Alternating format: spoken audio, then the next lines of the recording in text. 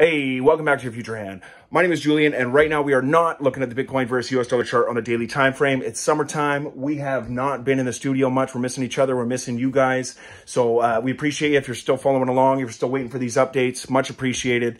Uh, things are moving slow, but we did see some price action this week, little fluctuation between 19 and 22K, and I don't think anything major is going to happen until we try to break 24, but I just can't see it happening right away. Little fluctuation in price action. Like I said, the fear and greed index, we've never been in the red this long. So, um, you know, maybe it's a move up, but it, I think potentially we could see a little bit more bearish price action into the coming weeks here.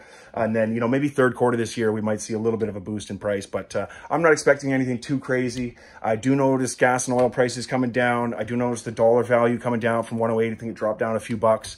So, you know, things are uh, changing. We might see a little more price action in the next uh, week or so. But like I said, I think it could be another dump to uh, 15K. I bet a lot of people have been stacking longs here. Uh, I honestly haven't been doing too much analytics or anything like that. Uh, yeah, so we just wanted to touch base. I hope you're good. I hope your family's good. I hope you're enjoying the sunshine. It's not very sunny today, but uh, still warm, still beautiful. Hang in there, and we will catch you in the next one.